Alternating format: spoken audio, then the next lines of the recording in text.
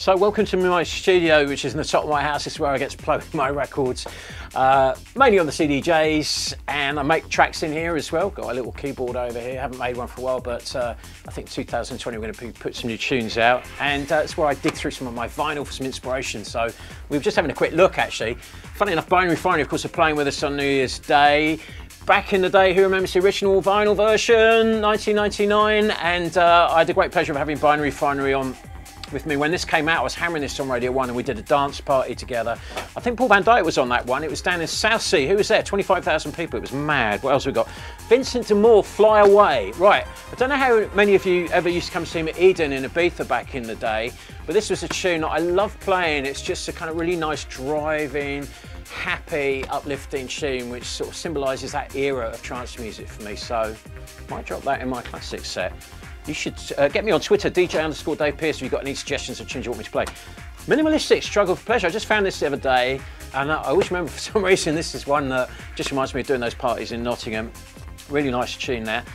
System F out of the blue. I don't know why I stopped playing this a while ago. I haven't played it out for a while, so that might get its way into the classic selection on New Year's Day. Send me your suggestions. Uh, you can get me on Facebook, Dave Pearce Official, Instagram, and uh, DJ underscore Dave Pearce on Twitter as well. I always love to hear from you, kind of tunes that rocked your world. Maybe if you used to come see me playing back in the day.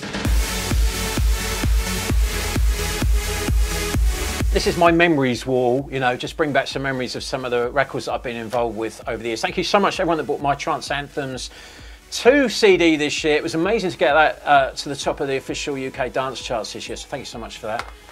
Here's a Delirium one I found earlier. Still doing my Delirium digital only supporting new trance because I love supporting new music as well by up and coming artists. But this is uh, about some of the classic ones that I've been involved with.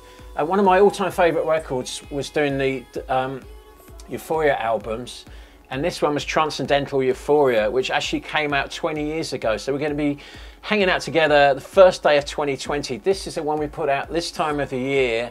Uh, all those years ago, 20 years ago, Transcendental Euphoria, and we actually sold over 300,000 copies of that. So that was just such a buzz. It was like everywhere. And uh, on the back of that, I took um, Euphoria to Ibiza. We used to do it at Eden, and I also took Euphoria to Ministry of Sound. And uh, you know, I did. Um, gigs there with Mauro Picotto and Ferry Corsten and all those guys. So for me, that just holds so many great memories. And uh, if you've got that in your collection anyway, thank you very much. It was, uh, it was a great memory. Another one that a lot of people mention, this one, 2008 Trance Anthems.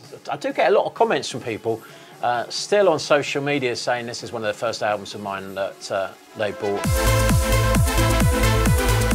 Well, it's been a really mad year for me, 2019.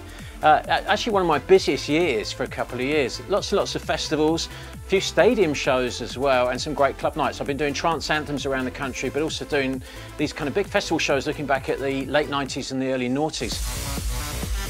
Well, I absolutely love playing at Trance Sanctuary. This will be my third appearance. I remember the very first time I did it, Scott Bond was on and Alex Morph, and I really enjoyed it so much. I went and made a record straight after that called Trance Sanctuary, which some of you might remember.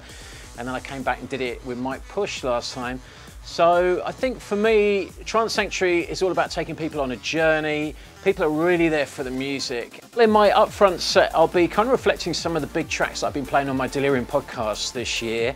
Uh, it's available on Spotify and Apple Podcasts and on Mixcloud, so you get a vibe of what I'm playing. So it, I think it'll be a kind of look back at some of the big tunes of the year. You know, some of the artists I've really been uh, supporting, uh, Allen Watts. One of my favourite recent tracks is from Rated R, uh, track called Forever, which I can't wait to play that out. On my classic set, I'll stack up a whole bunch of tunes that I'd love to play and then kind of just see where everyone's energy levels are and what the vibe of the room is. And I want to play some, um, you know, tracks that I haven't necessarily played out on my Trance Anthems tour because um, what's great about Trance Sanctuary is I can go a little bit deeper in my collection and maybe play records I haven't played for a long time.